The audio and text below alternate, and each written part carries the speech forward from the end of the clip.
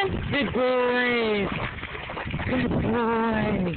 A good boy. He's a good boy, aren't you? Honey. Honey boy. Hi, Jer.